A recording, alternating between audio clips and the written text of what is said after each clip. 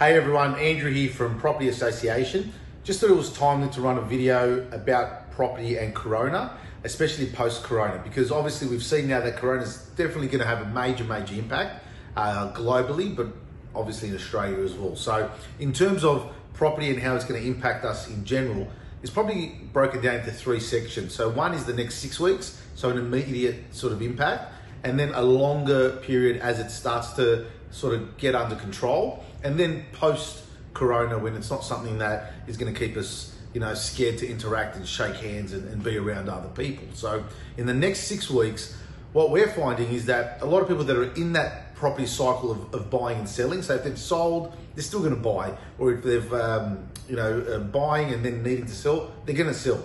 So people know that this is not the end of the world. They know that you know it's not going to last forever even though we're not acting that way with the way we're clearing out the uh, supermarkets. They know that this thing's not going to last forever, so they're going to finish off their transaction.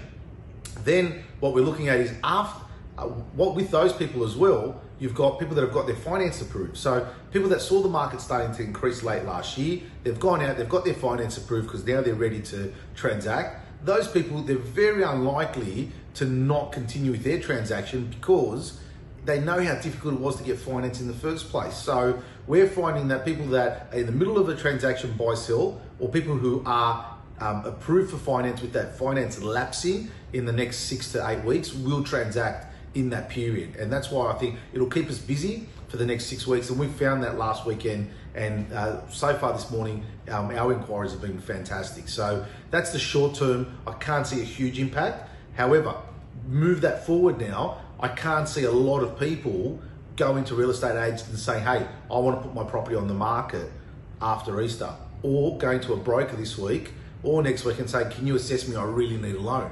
So that we're going to fill in about eight weeks' time. The stock levels will, will probably fall again, and there'll be less people, you know, coming into the market with finance uh, approved, ready to transact. So that's going to have an impact on our market where yes, demand's going to drop, but we're going to also find supply drop like it did last year, which started to drive prices up because people in the market had less options. So it's something that we need to monitor in that period. And then once we, we find that Corona starts to come under control, the numbers are quite well managed, uh, then we enter the post uh, Corona period and looking at all the other sort of uh, major viruses or looking at major events, you know, the property market always bounces back really strongly. So uh, in terms of the property market, we're quite confident that you know, it's always been a long-term transaction. It's never been something that you jump in for six months or 12 months. If you want to do that, that's why you've got the option of the share market. If you want something longer term, it's always been property. And obviously the share market at the moment is getting an absolute uh, battering uh, with the coronavirus being that the main uh, catalyst for that.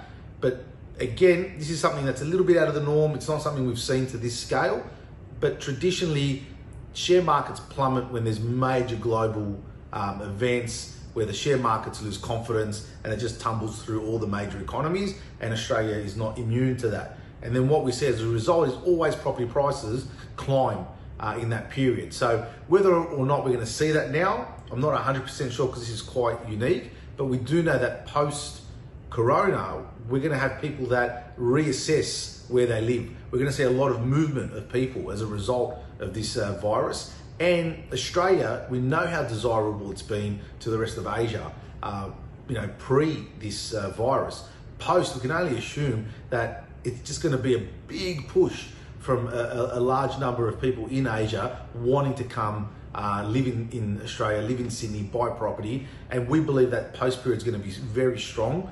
We also think that this period now, with the measures where there's self isolation and you know, people sort of staying away from one another, that we're going to start to be a little bit more thrifty. We're going to start saving more. We're going to be less consumer driven. And in terms of post corona, we're going to want comfort. We're going to want that security of saying, hey, this is our home, you know, or our home is more paid off. So it's going to get us into that period, into that mindset, which has been the last 20 years, has been all about consuming, buying the latest fashion, the latest clothes and bags and cars and whatever it is. Um, tech or you know new phones come out two grand no worries. I think we're going to re- reassess that stuff and coming out of corona you know owning owning an asset owning something that's going to help generate an income, help stop you paying wasted rent. It's going to be a priority for people, and we feel post Corona we're going to have a really strong um, property market. So, love to hear anyone's thoughts if they've got an approval. Are you going through with it? I would say you are, unless you've had specific news to say that your your work's been impacted directly. I would assume most people are. And do you agree? Will we see a reduction in people trying to sell, which will again reduce the stock levels, put pressure on the market, and see the market climb? You know, that's traditionally what's happened um, when the share market tanks. So, um, any questions, any other topics you want us to cover, let me know, and uh, I'll speak to you shortly.